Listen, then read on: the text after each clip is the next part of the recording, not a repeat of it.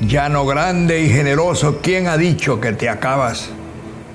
Mientras haya quien defienda con el don de la palabra lo bello de tus paisajes, lo inmenso de tus sabanas.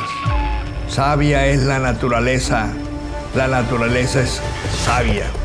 Por eso florece el campo, por eso crece la palma y por eso es que el llanero a su grandeza le canta.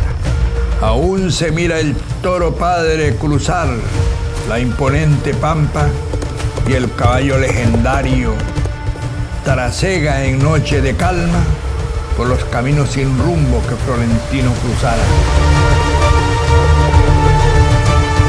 El llano y los libros los llevo en la sangre. Es por eso que hablo y escribo con libertad, con la misma libertad que el llano tanto me ha dado.